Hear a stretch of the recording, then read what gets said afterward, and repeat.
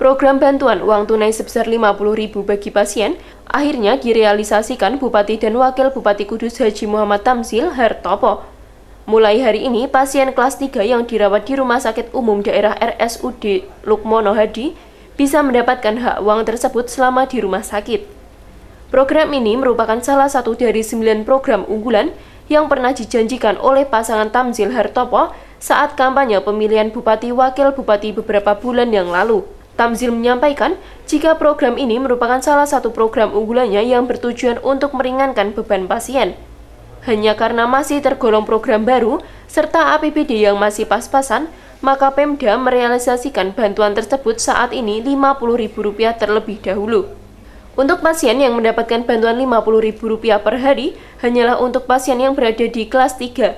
Sedangkan syarat mendapatkan bantuan tersebut, pasien hanya menunjukkan KTP dan KK warga Kudus, yang sekaligus sebagai syarat pendaftaran pasien saat masuk ke rumah sakit. Dengan adanya program ini, Tamzil mengharapkan para pasien bisa terbantu walaupun jumlahnya tidak seberapa. Tercatat, hari ini Tamzil membagikan bantuannya kepada 23 pasien kelas 3 RSUD Lukmono Hadi, Kudus.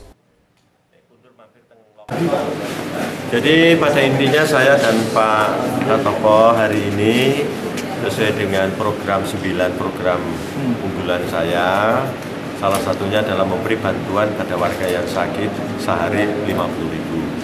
Nah, memang kemampuan APBD untuk tahun ini kita baru tiga hari, maksimal tiga hari. Tapi ke depan nanti akan kita evaluasi sesuai dengan kemampuan daerah tadi kita sudah beri bantuan untuk hari ini 20 pasien ya kelas 3 ya kelas 3 dan di depan tadi di loket penerimaan awal itu juga sudah kita uh, siapkan petugas di sana di samping dia mendaftar sebagai pasien juga mengurus untuk jatah 50